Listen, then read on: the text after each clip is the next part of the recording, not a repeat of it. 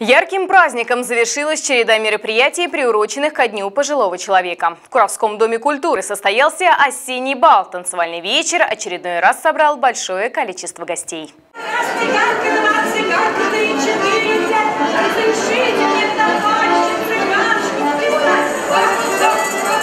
Яркие наряды, заводная музыка и хорошее настроение – традиционная составляющая осеннего бала.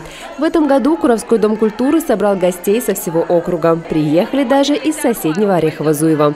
Чтобы удивить и порадовать ветеранов, организаторам пришлось постараться. Ой, вы знаете, удивлять с каждым разом все э, тяжелее и тяжелее, поскольку у нас э, всегда было что-то новенькое, фестиваль скандинавской ходьбы, и марафон поздравлений к Дню пожилого человека. Поэтому, конечно, придумать что-то такое сверх сверх-сверх мы старались очень. Разминаться перед танцами гости начали еще в фойе. Под музыку гармонии, веселые частушки и народные песни. Здесь же развернулась выставка-ярмарка мастерских «Империя ремесел». На импровизированных витринах поделки из ткани и воска.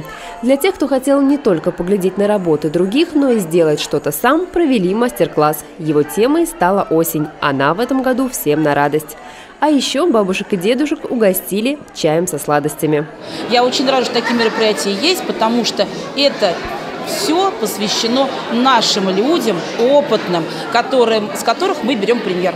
Осенний бал для ветеранов – событие важное. К нему долго готовятся, о нем потом часто вспоминают.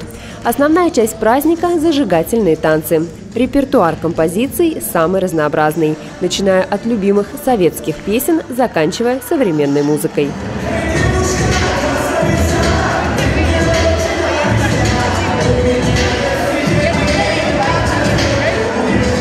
Несмотря на почтенный возраст гостей, танцпол всегда полный. Немногих кавалеров расхватывают сразу. Молодежь на празднике задает ритм. Хотя подстегивать ветеранов не надо. Они сами дадут фору любому артисту.